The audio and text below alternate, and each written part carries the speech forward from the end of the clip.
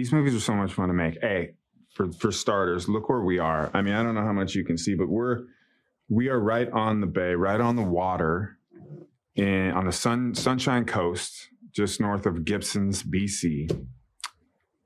You get to go to beautiful places like this and make a movie. It's it's incredible. The people you work with, are, I don't know, Hallmark has a way of, of, of bringing wonderful people together and fantastic people to work with.